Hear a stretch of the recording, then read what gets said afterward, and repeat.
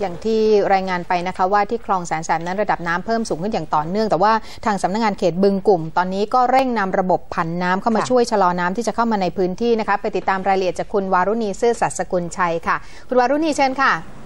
ค่ะคุณสายสวรรค์คุณกรุณาคะตอนนี้เราอยู่ที่ซอยนวลจันทร์นะคะ ซึ่งซอยนวลจันทร์จุดนี้ก็จะเป็นอีกจุดหนึ่งที่จะมีการผันน้ำนะคะ เพื่อเข้าสู่คลองแสนแสบค่ะเพราะว่าถ้าเมื่อไหร่ที่คลองแสนแสบน้ำลดนั่นหมายความว่าซอยนวลจันทร์แห่งนี้ ระดับน้ำก็จะลดลงลงไปเรื่อยๆนะคะเพราะว่าปริมาณน้ำที่บริเวณถนนนวลจันทร์ตอนนี้น้ำขึ้นนะคะ ทุก ในแต่ละวันเนี่ยประมาณ 5 เซนติเมตรนะคะ แล้วก็จะเห็นได้ว่าด้านหลังของดิฉันเนี่ยตอนนี้ซอยนวลจันทร์ก็เต็มไปด้วยน้ำที่ท่วมขังริมฟุตบาทไปเรียบร้อยแล้วนะคะ แล้วก็เข้าใจว่าจะมีปริมาณที่สูงขึ้นเป็นไปตามลำดับค่ะ แล้วก็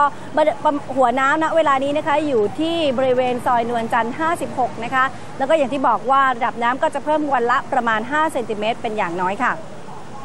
ซึ่งในส่วนของเขตบึงกลุ่มเป็นจุดที่จะต้องรับมวลน้ำต่อจากรามอินทาวัชรพลและนวมินนะคะ ก็ถือเป็นอีกจุดเสี่ยงจุดหนึ่งค่ะ เนื่องจากมวลน้ำได้เจาะเข้าพื้นที่แล้วนะคะทำให้ผู้อำนวยการเขตบึงกลุ่มต้องผันน้ำลงคลองและจากการสำรวจของทีมข่าวของเรานะคะ ในพื้นที่โซนตะวันออกพบว่ามวลน้ำขณะนี้แผ่ขยายวงกว้างไปในพื้นที่หลายจุดมากขึ้น ตั้งแต่สายไหมรามินทาวัชรพลคูบอนนวมิน ซึ่งเป็นเส้นทางที่จะนำไปสู่พื้นที่บึงกลุ่มและบางกะปิ โดยการเข้าไปตรวจสอบย่านบางกะปิพบว่ามวลน้ำยังเดินทางไปไม่ถึงนะคะ แต่พื้นที่ของบางกะปิเป็นพื้นที่เป้าหมายค่ะ เนื่องจากบางกะปิจะรับน้ำจาก 3 ด้าน ทิศเหนือรับจากถนนนวมินทิศตะวันออกรับจากน้ำจากคลองลาดพร้าวมายังแยกบางกะปิ และทิศตะวันตกนะคะ รับน้ำจากคลองสามวาผ่านมีนบุรีเข้าสู่ถนนเสรีไทยและมุ่งหน้าบางกะปิ ดังนั้นจึงถือเป็นจุดเสี่ยงที่ต้องเฝ้าระวัง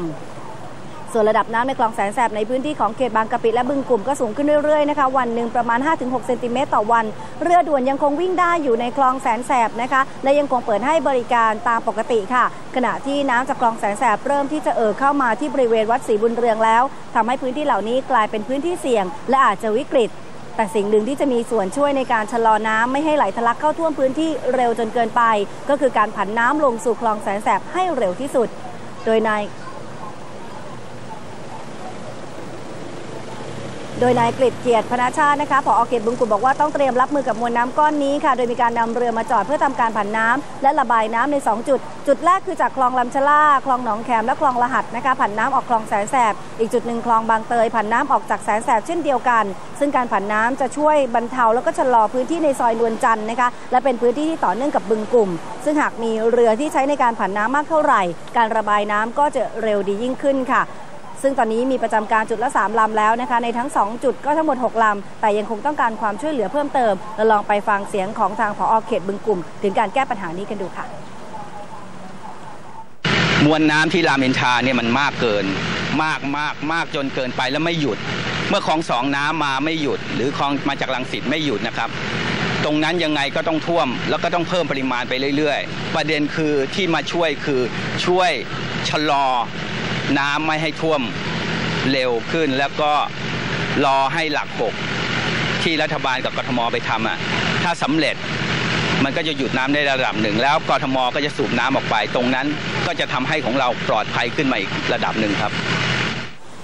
อย่างไรก็ตามแม้ว่าเขตบึงกลุ่มยังไม่ได้ถูกประกาศเป็นพื้นที่อพยพนะคะ แต่ทางเขตเองก็มีการเตรียมเปิดศูนย์พักพิงชั่วคราวขึ้นในพื้นที่ 4 จุดแล้วค่ะ คือโรงเรียนวัดนวลจันทร์โรงเรียนวัดบางเตยโรงเรียนคลองกลุ่ม และโรงเรียนแย้มจากวิชานุสรซึ่งทั้งหมดจะรองรับจุดละ 500 คนนะคะ หากมีผู้อพยพเพิ่มนั้นก็จะมีการเปิดศูนย์เพิ่มเติมด้วยค่ะ